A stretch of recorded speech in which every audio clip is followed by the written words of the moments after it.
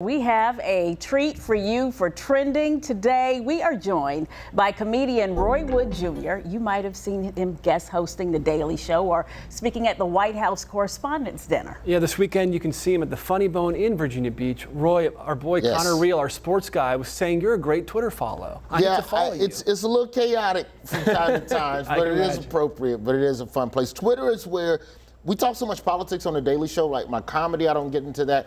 Twitter, I argue with you about food and the Chicago Cubs. Bring it on! I challenge anybody out there. Mm-hmm. You want to Everything. argue? out The- yeah, the most important Sorry, getting mad at strangers.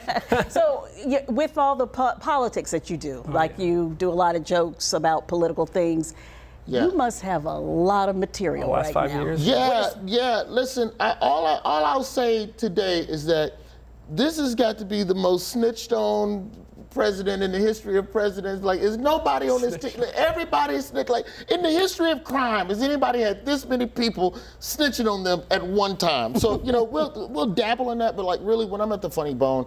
It's just about any and everything that's going on in the world. I want people to come out. I want you to have a good time. You can't go to the beach because the killer whales is out there and they might try to bite you. So, you know, right Yeah. now, the best place for you to be is indoors.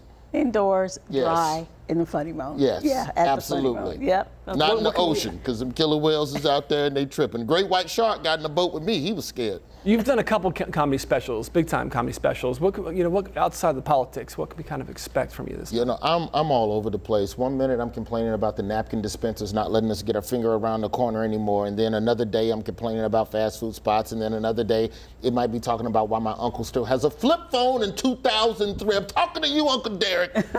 Uncle Derek. 2023. Why do you have a flip phone? Thought he was gonna go from a flip phone to an iPhone 12. You're not That's ready. too much of a jump. You're not ready. All right, your favorite audience member. So you that. you walk out there and you know you're feeling the crowd. Oh, don't do this to me. Don't do this. To you. Oh, let me think. Okay. All right.